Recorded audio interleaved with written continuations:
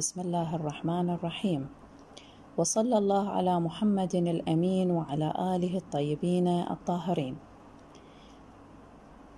محاضرتنا اليوم هي تقنية التصوير التجسيمي الهولوغرافي. في بداية المحاضرة أحب أوضح فكرة الهولوغرافي عن طريق أخذ مثالين.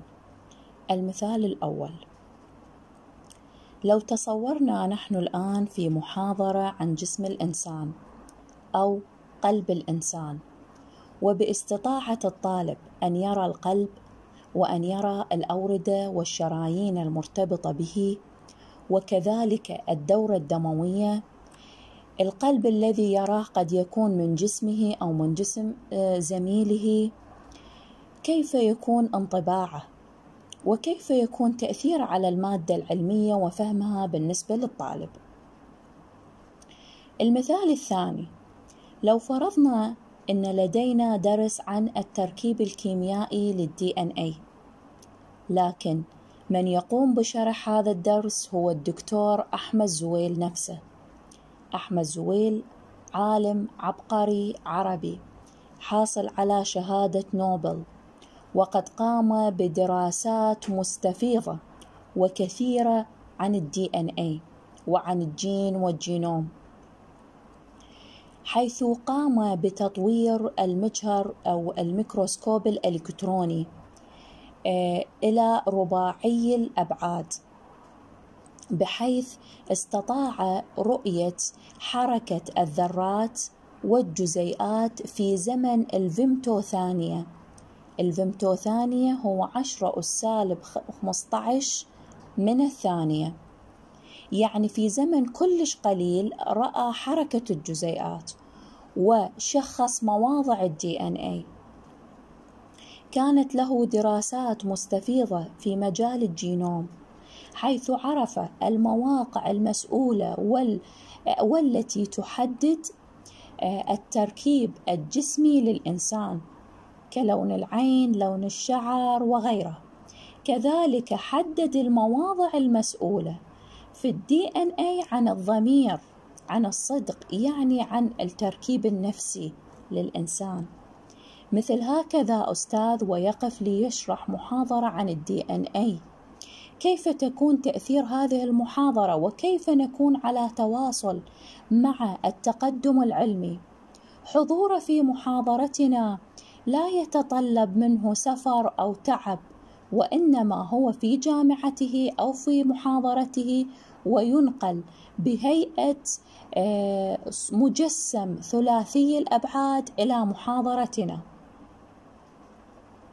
كيف يوفر لنا الوقت والجهد وكيف يكون تأثيره في المادة العلمية؟ السؤال هنا هل هذا ممكن؟ هل ممكن تحقيق هكذا؟ أمثلة وهل تم تطبيقها؟ لنرى ماذا تخبرنا عنه تقنية الهولوغرافي.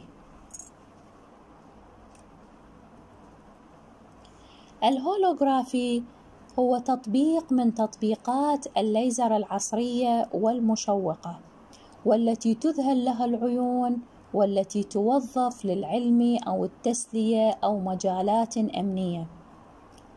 الهولوغرافي عبارة عن تقنية تنفرد بخاصية ما تمنحها القدرة على إعادة إنشاء صورة للأجسام بصورة ثلاثية الأبعاد في الفضاء وبالاعتماد على الليزر. الهولوغرام الهولوغرام هو ما ينتج من عملية أو تقنية الهولوغرافي وقد أخذ هذا المصطلح من كلمات يونانية. الهولوز يعني التصوير الشامل والجراما يعني المكتوب. الهولوجرام هو صورة ثلاثية الأبعاد تم إنشاؤها باستخدام إسقاط فوتوغرافي وهو عبارة عن عرض مرئي يقوم بإعادة الصورة بطريقة عالية الجودة.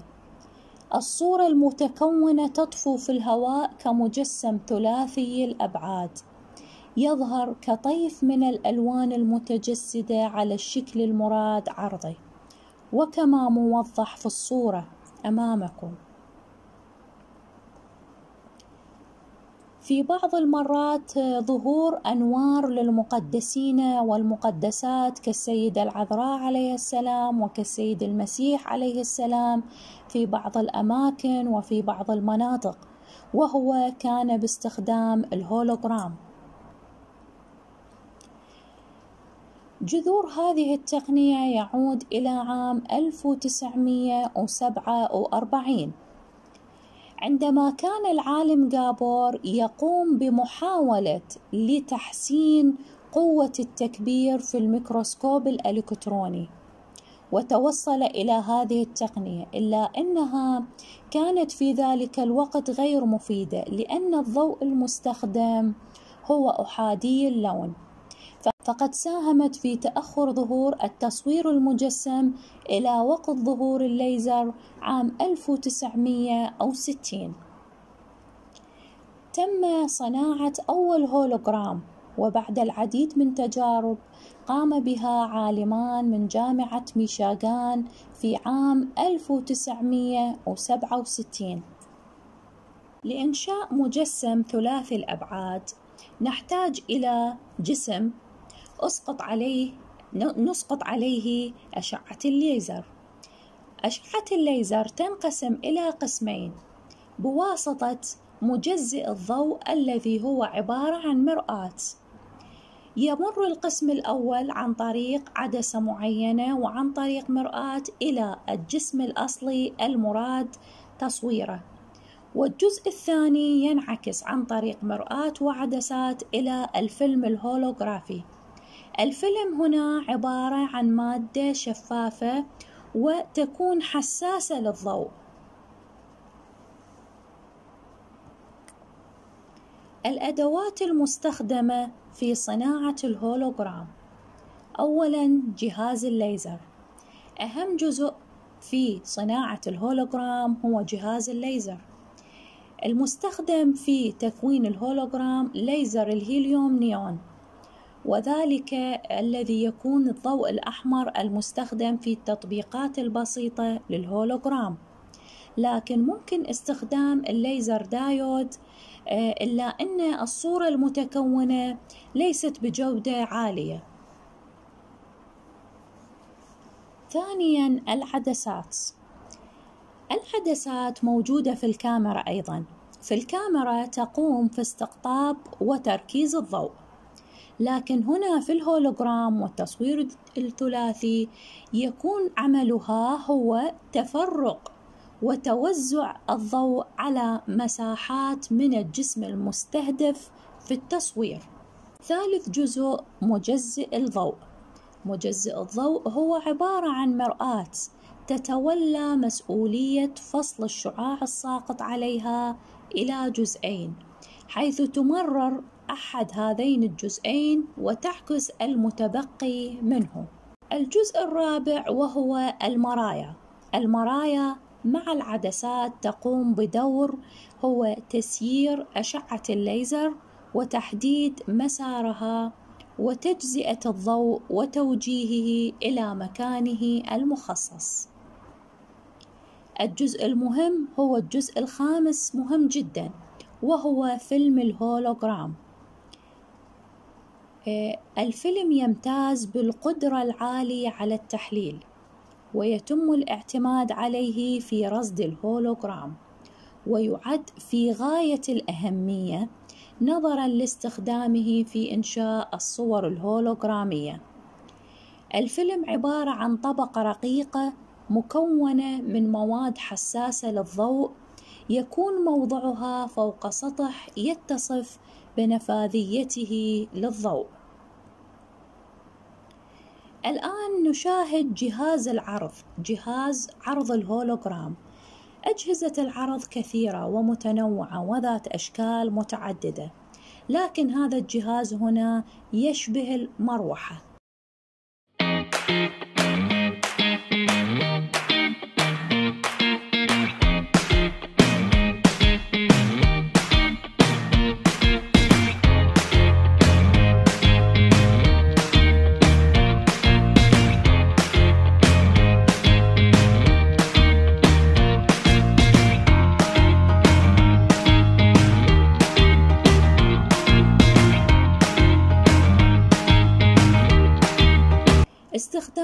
تقنية الهولوغرافي. أولاً رسم الخرائط العسكرية. آه، عند قيام القوات العسكرية في آه، معركة ما يجب معرفة الواقع ومعرفة التضاريس التي سوف تقوم آه، عليها بالعمليات العسكرية. لذلك هذه التقنية تسهل الحصول على صور ثلاثية الأبعاد قادرة على تقديم صورة قريبة للواقع تماماً بحيث يمكن للجنود رؤية التضاريس بصورة ثلاثية الأبعاد والمساعدة في تدريب الجنود على المهام من خلال محاكاة أرض الواقع.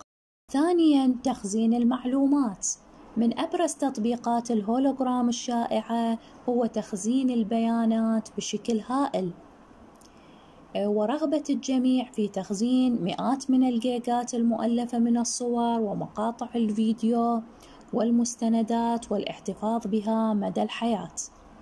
ومع ظهور الصور ثلاثية الأبعاد أصبح بالإمكان تخزين كافة المعلومات المتعلقة بالضوء المنعكس عن الجسم. إضافة لتسجيل البيانات الدقيقة والصفحات المرتبطة بالصورة مما يعني قدرة تقنية الهولوجرام على تخزين مقدار كبير من المعلومات. وعند أخذ هولوجرام بصري لصفحة من المعلومات وإتلافها فبالإمكان إعادة تشكيلها من خلال أي جزء متبقي منها إضافة إلى أنه الهولوجرام يمتاز بعدم إمكانية نسخه وبأي طريقة كانت. لذلك يصعب تزويره وهو مستخدم في بطاقات الائتمان. الاستخدامات الطبية. ساهمت تقنية الهولوجرام في إحداث نقلة كبيرة في المجال الطبي وخاصة في تصوير المريض.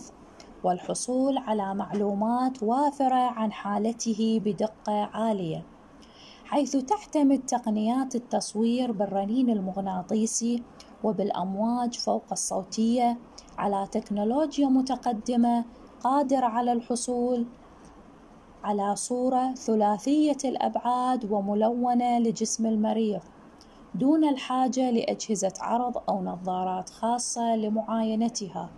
بل يكفي فقط النظر إليها كالمعتاد لاكتشاف ما يعانيه المريض سواء في القلب أو الدماغ أو الكبد أو الرئتين وغيرها من أجهزة الجسم. وهنا مجموعة من الصور الهولوغرامية أخذت لأجزاء الجسم المختلفة كالدماغ كالقلب كالجنين وغيره. رابعا في مجال الفنون. استخدمت كثيرا هذه التقنية في مجال الفنون حيث استخدمها فنانون كثر حول العالم لثني الفراغات واقتطاعها ودمج مجموعات مختلفة من الصور ومقاطع الفيديو لإنتاج أعمال فنية متحركة وبتقنية ثلاثية الأبعاد. فمثلا في نهاية عام 2018 وبداية عام 2019 قدم مهرجان شتاء طنطورة مفاجأة للجمهور وهو استعان بالفنانة المصرية صابرين من أجل تجسيد شخصية السيدة كوكب الشرق أم كلثوم وطريقتها على المسرح ومن ثم إعادتها بالكامل بالموجات فوق الصوتية على خشبة المسرح عبر هذه التقنية. ويذكر بأن آه، هذا الحدث كان الحدث الثقافي الأبرز الذي تستضيفه محافظة العلا في السعودية وقد استضاف المهرجان هذا نخبة من نجوم الوطن العربي والعالم جميعهم على قيد الحياة باستثناء السيدة أم كلثوم. خامساً استخدمت هذه التقنية في مجالات التعليم المختلفة في علم التشريح كما رأينا في الفيديو الأول والعلوم التطبيقية كالكيمياء والفيزياء علم الآثار وعلم الفلك والجغرافيا والتاريخ وغيرها من العلوم. فمثلا في هذه الصورة قد تم تصوير كوكب المريخ بهذه التقنية لتسهيل مهمة الباحثين للحصول على صور أكثر واقعية. حيث وفرت صور ثلاثية الأبعاد عن العينات الصخرية الموجودة على سطح المريخ بدل عن استخدام الصور ثنائية الأبعاد. الاستخدام اللطيف هنا استخدم استخدمت هذه التقنية كمرشد طريق افتراضي في اليابان. This is DA Connect, the latest fashion in car safety. It's really easy to install, plug and play and ready to learn. Affordable and safe.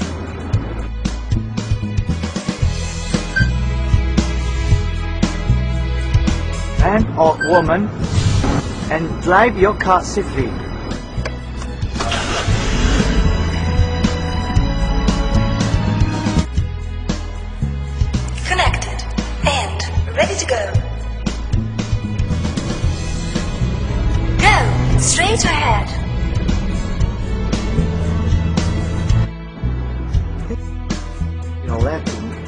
Case you fall asleep.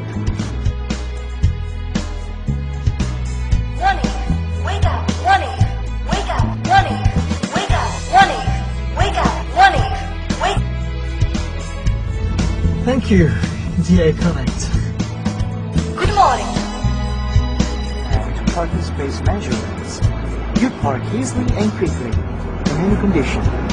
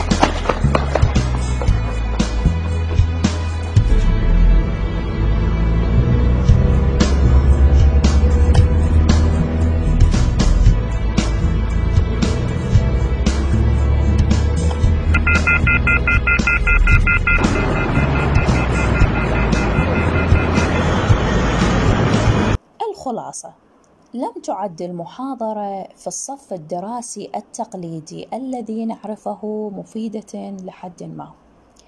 فقد غيرت التكنولوجيا شكل التعليم كما نعهده وكذلك الطريقة التي نتواصل بها مع العالم.